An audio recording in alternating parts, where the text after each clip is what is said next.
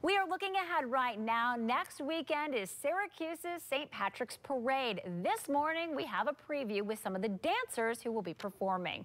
Let's see if they've been able to teach Brandon anything in the last half hour. All right, Brandon, how's it going? Um, oh.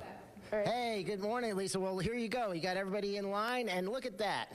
Right there, I got it. It took me an hour, and now I'm going to fall down because I'm old. Hey, Johnston School of Irish Dancers, they're going to be performing in the uh, St. Patrick's Parade, actually the one in Binghamton this Saturday, and then also Syracuse's Parade, and these guys are great. And you were telling me you guys practice a lot. How long do you practice? Well, we practice Monday, mm-hmm. Tuesdays, and Thursdays. Yeah.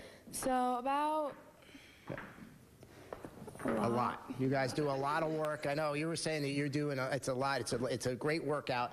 And this we're going to get a little performance now. And come here really quickly.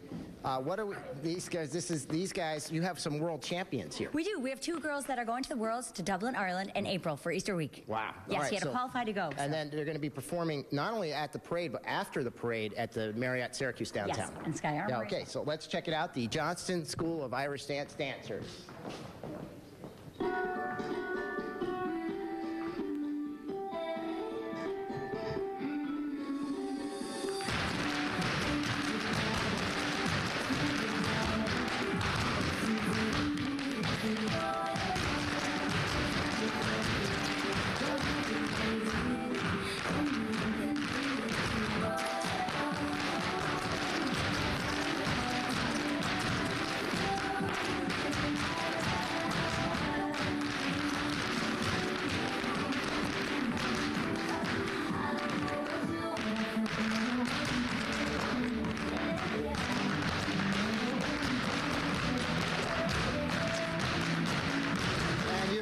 watching the Johnston uh, School of Irish Dancing Dancers. You can catch them at the Binghamton St. Patrick's Parade this weekend at the Syracuse St. Patrick's Parade next Saturday.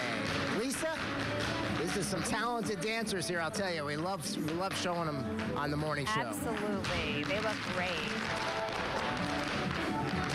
To get you out here. I would love it.